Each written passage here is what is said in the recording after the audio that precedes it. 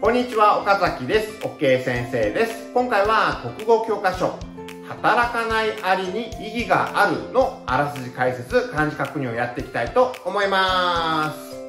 みんな、働かない働きありがいることを知ってた？もちろんね、ずっと働いてないわけじゃないんだけど、他のアリに比べると怠けてるように見える。実はアリにも一匹一匹に個性がある。せっせと仕事するアリとか、のんびりしてるアリ、なかなか働かないアリ、いろんなアリが巣の中に集まっている。でね、こう聞くと、へえ、アリって結構バラバラなんだな。頑張らないやつと頑張るやつが混じっているんだったら、その巣はなかなか反映できないんじゃないか、こういうふうに考えるかもしれません。でもね、今回の文章で言いたいことは、その働かない働きありにも意義がある、価値があるっていうこと。働かない働きありがいるからこそ、アリ一匹一匹の個性が違うからこそ、コロニー、アリの巣とか蜂の巣とかが長期間にわたって繁栄することができる。その理由がわかるようになると思いますので、最後まで聞いていってください。このチャンネルでは、中学生と高校生の国語教科書の解説動画を配信しています。この動画の最後に今回の文章が載っている教科書の再生リストが表示されます。その中に他の文章の解説動画もたくさん入っていますので、チャンネル登録してお見逃しがないようにしてください。それではやっていきましょう。みんな、蜂やアリにも過労死があるのを知ってた？アリとか蜂だって働きすぎたら死んじゃう。この虫の個々の労働量と寿命の関係について詳しく調べた研究とかデータはないんだけど、このことは経験的な例から分かっている。例えばね、昔野菜のハウス栽培でその中で育てられている花を受粉させるのにミツバチが使われていた。ところが、このハウス栽培の中で飼われているミツバチは、長生きできなかった数がすぐに減っていって、コロニー、コロニーっていうのはある場所に定着した生物が作る集団のこと、アリの巣とか蜂の巣とかだよね。このコロニーが、蜂の巣がハウス栽培の中ではすぐに壊滅してしまった。これはなぜなのかそれは蜂の労働環境と関係があるみたい。広い野外に住んでいるミツバチたちは、花の蜜を集めるのに、花から花まである程度の距離を飛ばなければならない。のんびりとゆっくりと花の蜜を集めていく。ところが、ハウス栽培の中のミツバチたちは、花と花の間隔がすごい近いから、狭い範囲の中でせっせと動き回らなければならない。これがどうやらミツバチにとっては厳しい労働条件なんだね。だからこの過剰労働によってミツバチたちは寿命を縮めることになった。だからコロニーがミツバチの巣がすぐに壊滅した。こういうふうにね、労働頻度、つまり労働が重いのか軽いのかっていうことと寿命との間にはどうやら関係があるみたい。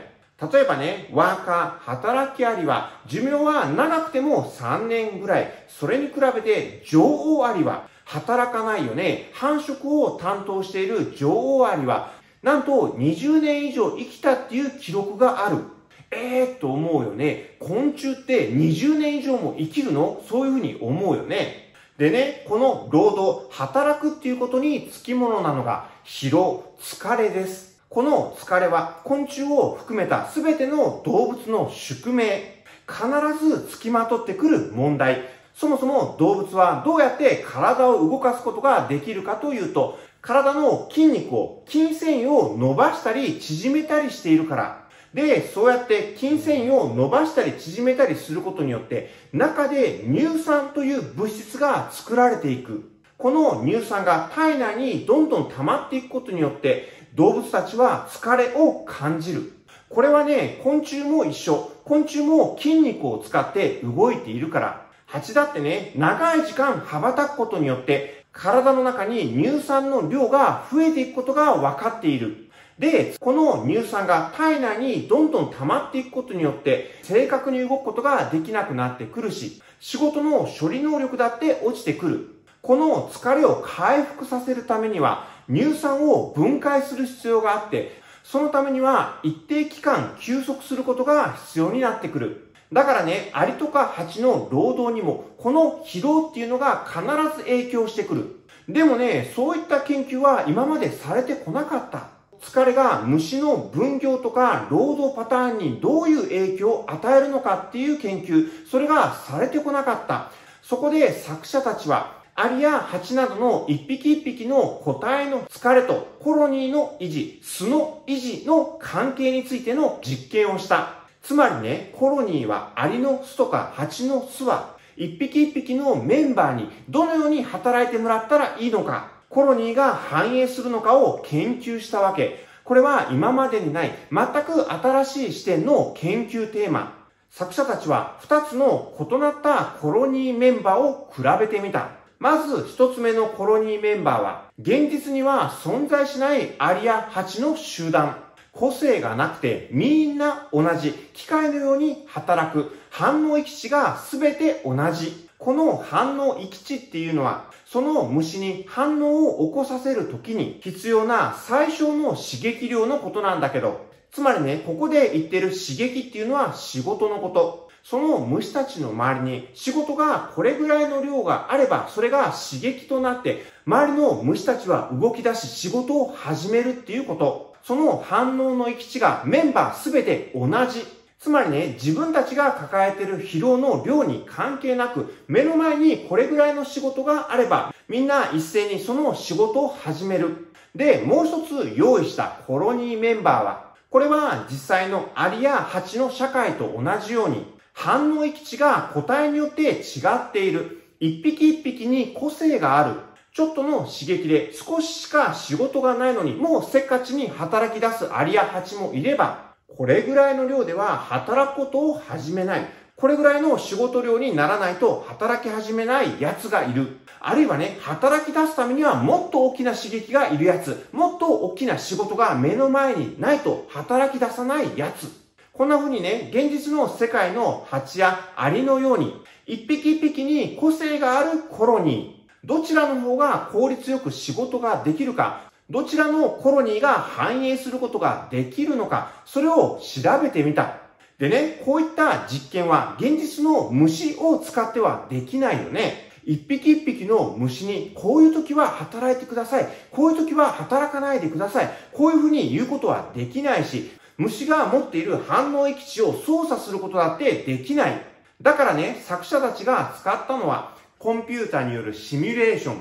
コンピューターの中に仮想の人工生命をプログラムして、みんな同じ刺激で一斉に働き始めるシステムと、反応域値がバラバラで働かない個体が必ず出てくるシステム。この2つのシステムを比べてみた。するとね、虫たちに個性のないシステムの方が、一匹一匹の疲労の重さに関係なく、一斉に働き出すシステムの方が、同じ時間あたりに処理できる仕事量が常に大きいことが分かった。こっちのシステムの方には働かない働きありなんていないから、より多くの虫たちが働いている。だから常に労働効率が良かった。たくさんの仕事をこなすことができた。ところがね、このシミュレーションにある条件を加えてみると、状況は一変した。その条件とは、仕事が一定期間の間処理されなかった場合、そのコロニーが死滅する。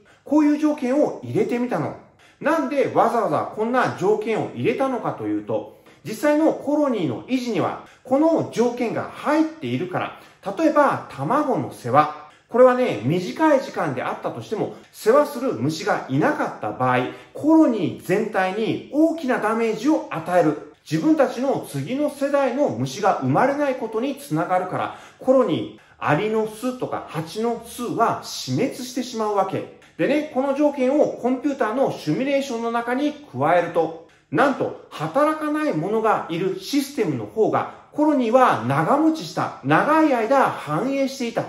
なぜか、それはみんなが一斉に働くシステムには欠点があったから。みんな一生懸命働いてていいな、サボる奴がいなくていいな、こういうふうにね、見た目は思うけど、そうするとね、この働き方では、誰もが働けなくなる時間っていうのが必ず生まれるの。いつか同時に全員が疲れてしまって働くことができなくなる時間っていうのが生じてしまう。で、そのことがコロニーの維持、アリの巣や蜂の巣の維持に致命的なダメージを与える。でもね、もう一つのシステム、これが実際のアリや蜂の働き方なんだけど、一匹一匹に個性があって、一匹一匹の反応域値が違うから、同じ仕事量であっても、その仕事に向かって行動を起こすやつと、それでも働かないやつが出てくるシステムでは、こっちの方が現実のコロニーの中でうまくやっていける。それまで働いていた虫が疲れて働けなくなると、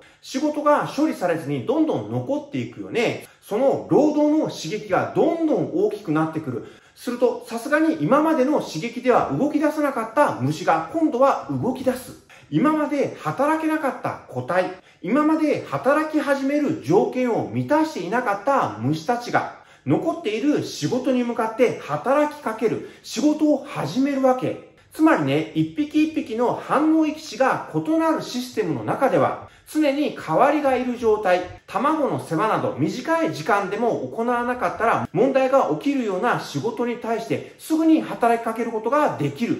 つまりね、現実の世界では、一匹一匹の反応域値に差があるシステムの方が、長期的な存続が可能になる、コロニーが繁栄するってわけ。一方でね、反応域値に差がなくて、みんなが一斉に働き出すシステムだと、確かにその方が、こなせる仕事の量は大きくって、労働効率もいいんだけど、そこにはね、余裕がないことによって起きる、致命的な弱点が存在する。卵の世話などに短いにしても空白時間ができちゃって、誰もその仕事ができない時がやってくる。それがコロニー全体に大きなダメージを与えて、このシステムでは長期間にわたって反映することはできなくなってしまうわけ。つまり、働かない働きありっていうのは、そのコロニーの中で怠けているわけではなくて、むしろ必要な存在。それがいないと、コロニーが長期にわたって反映することができなくなる、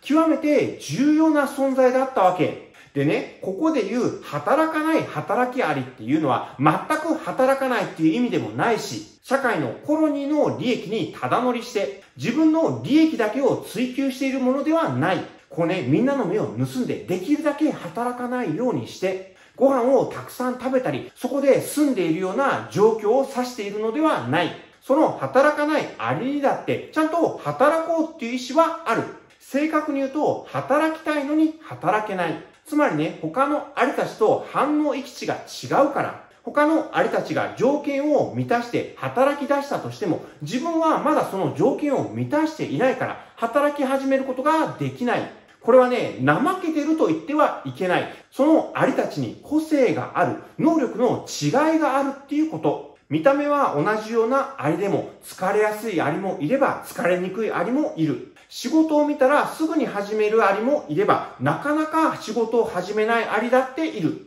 働き出したってね、うまく働けるアリと、なかなかうまく働けないアリがいる。そんな風にね、アリには、虫たちには、一匹一匹に個性があって、能力に差がある。で、そのことがコロニーの長期的な繁栄を可能にしてる。コロニーに危機が訪れた時に、いつも一生懸命働いている奴らがへばった時に、普段活躍できてない奴に活躍の場面が回ってくる。そのコロニーの危機を救うっていう重大な役割が回ってくるわけ。どう？こういう風に聞くとね、その働かない働きありも結構かっこいいんだな、重要なんだな、このことが分かってくると思います。だからね、ここで言ってるコロニーが必要としている個性っていうのは、能力の高さのことを言ってるわけじゃないの。優れたものだけではなくて、劣っているやつも混じっていることが、そういった意味での個性がコロニーにとっては必要だっていうこと。これがね、もしみんなが優れたやつで、みんなね、同じように仕事できちゃう場合、確かに決まりきった仕事だけするには効率がいい。でもね、現実の世界はそうじゃないよね。決まりきった仕事だけしてればいいってわけではない。いろんな予想できないような不測の事態だって起きてくる。その時にね、虫っていうのは一匹一匹が高い判断能力を持っているわけではない。一つの刺激に対して単純な反応を返すことしかできない。そんな虫たちが危機的状況に対して同じような行動をとってしまった場合、そこでその集団は壊滅の危機を迎えるわけ。だからね、一匹一匹違っているっていうことがその集団にとって非常に重要なこと。現実世界ではいろんなことが起こるから、刻々と状況が変わっていくから、その状況に対応する余力が必要。つまり、それが働かない働きありっていうこと。この働かない働きありだって、ちゃんと働く意思は持っているから、自分たちの出番がやってくれば、そういった状況が整えば、ちゃんと立派に働くことができる。だからね、虫たちは一見すると効率が悪いように見えるこのシステムを採用している。個性的なメンバー、企画会のメンバーをたくさんコロニーの中に抱えているっていうわけ。これが虫たちが出した答え、進化の答えだったわけだね。でね、ここで考えてほしいんだけど、人の社会っていうのは今どちらのシステムを目指しているのかなっていうこと。そうだよね。みんなが同じように優秀なシステムを目指しているんじゃないかな。だからね、どの企業だって学校だってできるだけ優秀な人たちを集めようとするよね。で、企業とか学校に入った後は自分が持っている最大限の能力を出すように要求される。多分さ、会社に入った後、働かない働きありのように、働かなくていいよ、こういうふうに言われることないだろうし、学校に入った後だってね、怠けてていいよ、頑張らなくてもいいよ、こんなことみんな言われたことないんじゃないの？やっぱりね、みんなその中で上の高い目標に向かって頑張り出す。でもね、それって本当に正しいことなのかな？先ほどの虫の2つのシステムを見比べてわかる通り、確かにそのやり方は短い時間でたくさんの仕事をこなすことができる。効率のいいやり方かもしれない。でもね、それは一方で変化には弱い。長期的には反映することができないシステムじゃなかったかな。つまりね、作者はこう言っているの。人間だってね、アリや虫と同じ。それぞれ個性を持っている。そのシステムの違いによって人間の持つ平均的能力が変わったりはしない。なのにね、今の社会の中ではみんなそれぞれの集団の中で全力で頑張ってるよねって。これはね、グローバリズムの進行がその傾向にさらに拍車をかけている。グローバリズム、地球全体を一つと捉える考え方。それにより世界中の働き方や目指すもの、理想っていうのがね、一つになっていってる。つまり世界は今個性がなくなっていって確一的になっていってるって言える。でもね、これって社会の組織の余裕がなくなっていってるってことじゃないですか？って。みんなが同じように考えて同じように行動する。そのやり方ではコロニーは長期間にわたっては反映することができなかった。実はね、その波は大学にも押し寄せている。作者の長谷川英介さんは大学で研究をしているから、その大学にも最近はもっと役立つ研究を、こういった考え方が押し寄せてきている。でもね、こういった効率的な研究、役に立つ研究っていうのは、ちゃんと効率の研究機関がやってるんですよって。そもそも大学でやってる研究っていうのは、今すぐ役に立つか役に立たないかではなくって、新しい知識を見つけること、そのこと自体が役割だったはず。そもそもね、何か新しい知識が発見された時っていうのは、その知識が役に立つか役に立たないかっていうのはわからないの。例えばね、供給病っていう病気が現れた時に、それまで行われてきたプリオンの研究が役に立ったんだけど、この供給病が出てくるまで、このプリオンが何の役に立つかはわからなかった。少数の研究者たちが研究を続けていたに過ぎなかった。こういうふうにね、大学っていうのは有用作物の候補の苗床。役に立つかどうかはわからないけど、将来役に立つかもしれないいろんな種類の苗を育てておく場所。いろんな知恵を育てておくっていう機能を持った場所であったはず。だからね、そのことを、その研究を非効率的だからやめた方がいいとか、そういうふうに判断されてしまっては、人間社会全体のリスクヘッジにはならない。人間が将来に被るであろう損失や危機を回避することができなくなってしまう。効率性ばかりを求めるシステムではコロニーが長く繁栄できなかったように人間社会も長期間にわたって繁栄することができなくなってしまう。だからね、皆さん、もう一度アリやハチが取っているシステムを見直してみて、人間がこれからどういう風なシステムを取っていけばいいのかっていうことを考えてみてください。この文章で作者が言いたいのはこういうことなんだね。どうですか？今回の授業分かりましたか？もう一回今回の文章を読んで働かない働きありの意義について考えてみてください。それでは今日の授業これで終わりにしたいと思います。いつもいいねコメントありがとうございます。これからも頑張って授業動画を配信していきたいと思いますので応援のチャンネル登録よろしくお願いいたします。それではまた次の授業でお会いいたしましょう。さよなら。